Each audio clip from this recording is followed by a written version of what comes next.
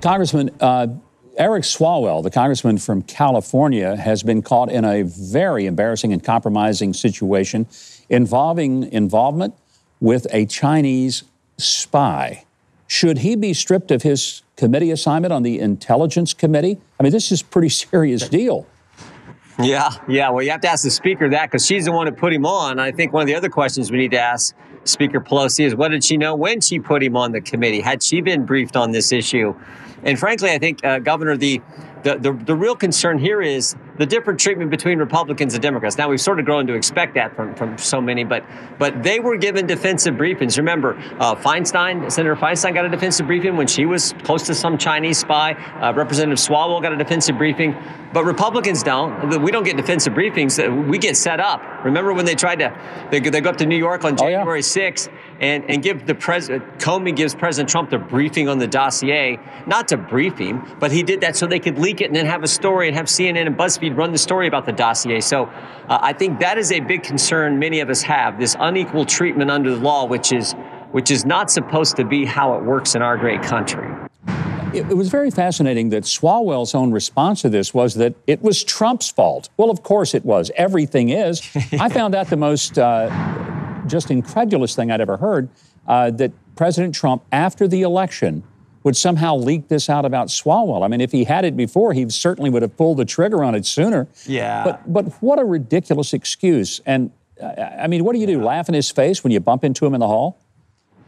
Well, you would you would you would laugh at all this if it if it wasn't so serious. And and again, look at the double standard. For four years, they accused the president of working with foreign governments, both the whole Russia scam and then, of course, the impeachment issue, all about him entanglements with foreign governments. When it turns out it was actually the Biden family who was engaged in all kinds of foreign entanglements with all kind of foreign nations. Um, and those same people who are making those accusations, we come to find out, oh, they were cozying up to Russian, or excuse me, Chinese spies. So um, it's frustrating. You, you, you want to laugh at it, but it's serious as well. And we'll see what um, we'll see what Speaker Pelosi does when it comes to the Intel Committee in the next Congress. Congressman, another thing the president is being blamed for is uh, the Hunter Biden controversy, and yet now we find out that the FBI's been uh, investigating Hunter Biden for tax issues for quite some time. Yeah. Never released that before the election. I'm I'm once again positive that the president wasn't the source of the information,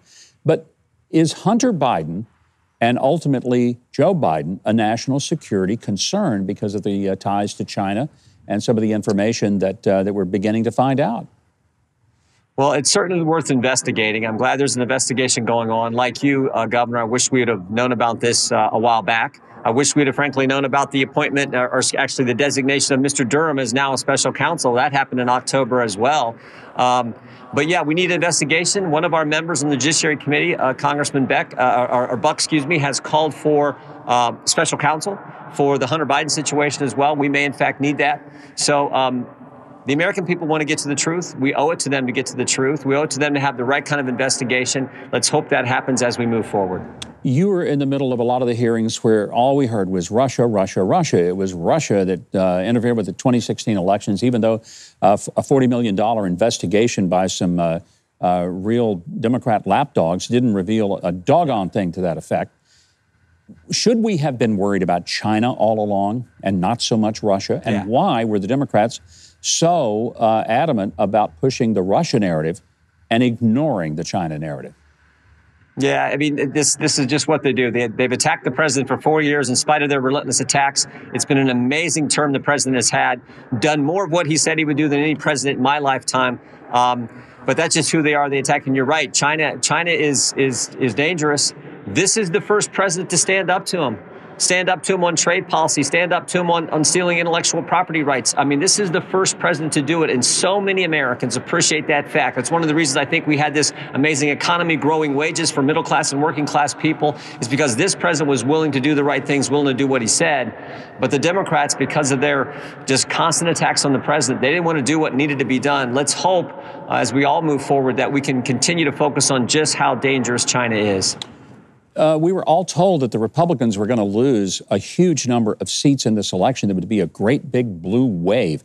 Well, it turned out that that blue wave turned uh, bright red, and you're going to have a, a, bunch of new colleagues on the oh, Republican yeah. side. Yeah. what happened? How did the press miss it? And, uh, you know, how, how big a deal is it that there's close to parity in the House going into the next legislative session? Yeah, I mean, I think it's because we ran good candidates. I give I yeah. give our, our leader, Leader McCarthy, a lot of credit. But we recruited some good good good women, uh, conservative candidates who ran great campaigns. So uh, when you have good candidates, you got a good chance to win. And when you have the right message, when Democrats are talking about defunding the police, Democrats are talking about the Green New Deal, Democrats are talking about taking away your guns, taking away your money, taking away your plastic drinking straws, and taking away your private health insurance. A lot of Americans say we don't want that, which which just reinforces this idea that 75 million Americans instinctively know something's not right here. How can all this happen down ticket where we had these amazing results and the president gets 11 million more votes than he got last time and somehow comes up short? We win 27 of the 27 toss up states in the House of Representatives and the president comes up short. He increases his votes with Hispanic Americans, African Americans, wins 19 of the 20 bellwether states, wins Ohio by eight, Iowa by eight, Florida by three, and somehow comes up short. That's why it's important we continue to investigate everything we can and figure out what exactly happened. Because, Governor, this is something that really scares me. Right now, over 70% of that 75 million think the election was stolen. That's more than a third of the electorate. When you have yeah. a third of the electorate that concerned about what took place, that is not a healthy situation for our culture, for our country. So we owe it to them as well to get to the bottom of what exactly happened. Well, I hope we do. Congressman, I want to say thank you for joining us. Uh, always thank great you. to uh, visit with you. And thank you for your leadership on the Hill. We need uh, more folks like you, and I hope we have some folks on their way to do just that. Congressman Jim Jordan, great to have you. Thank you. Merry Christmas. Thank you. Merry Christmas to you. And especially with the possibility of a Biden presidency looming over us, I'm sure glad we have men like Jim Jordan around to fight for American values. Now, you can keep up with the congressman on his website, jordan.house.gov and on Twitter and Parlay, or as we say in most of America, Parler.